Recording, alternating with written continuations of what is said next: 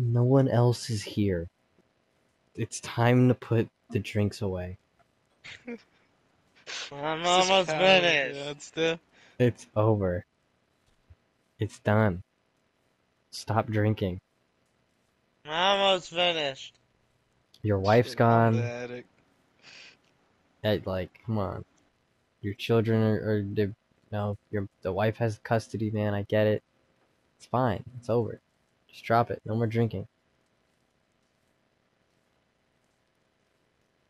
Cured.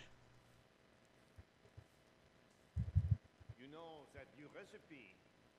That is one of my own creations from years ago. I had forgotten about it. What are you doing, Chris? You have, what are you doing? You have this alcohol like aura around you.